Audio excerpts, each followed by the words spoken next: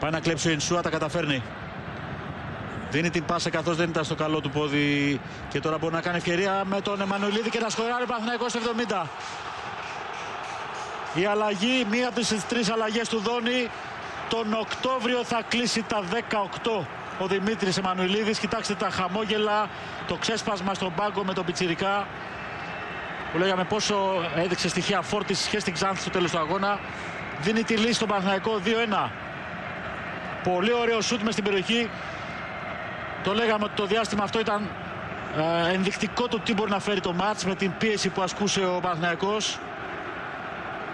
Έγινε η προσπάθεια του Ινσούα, έκλεψε από τα λάθη της άμυνας της Λαμίας.